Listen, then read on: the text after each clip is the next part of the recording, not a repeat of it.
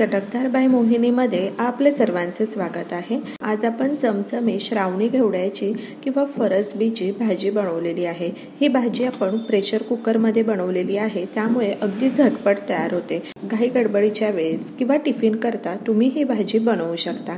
तर अशाच नवनवीन आणि चटकदार रेसिपी पाहण्यासाठी चटकदार बाय मोहिनीला सबस्क्राईब करायचं आहे आणि बेल आयकॉनवर क्लिक करायचं आहे. म्हणजे नवनवीन व्हिडिओज हे तुमच्यापर्यंत पोहोचू शकतील. चला मग तर आपण भाजी बनवायला सुरुवात करू. तर ह्या ठिकाणी आपण फरसबी घेतलेली आहे. फरसबी स्वच्छ धुवून घेतलेली आहे. सर्वप्रथम आपण श्रावणी घेवड्याची देठं काढून घ्यायची आहे.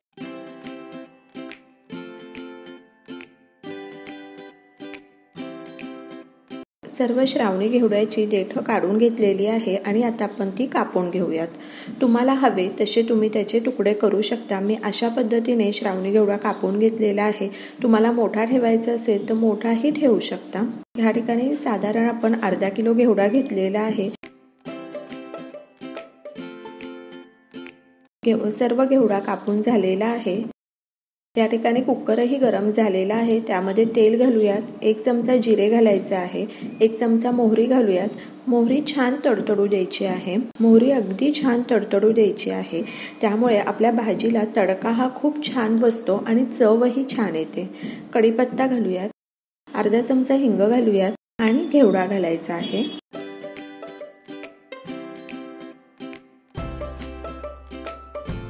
अर्धा चमचा हळद घालूयात.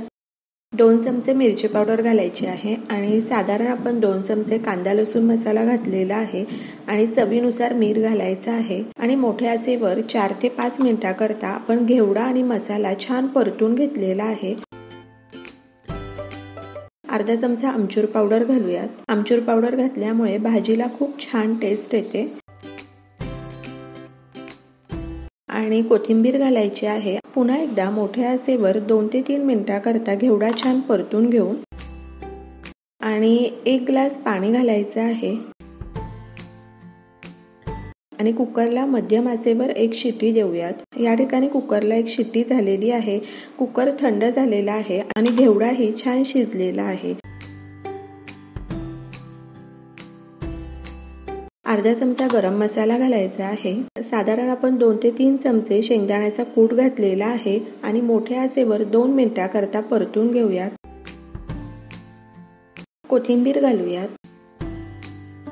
आणि मंदाचेवर दोन ते तीन मिनिटाकरता वाफ काढायची आहे. तर ह्या ठिकाणी तीन मिनिट झालेले आहेत. आपण गॅस बंद करायचा आहे आणि झटपट होणारी श्रावणी घेवडायची भाजी आपली तयार आहे. भाजी खूप सुंदर झालेली आहे करायला अगदी सोपी आहे आणि झटपटही तयार होते. तर अशा पद्धतीने तुम्ही श्रावणी घेवड्याची भाजी करून पहा आणि मला सांगा कशी वाटली ते.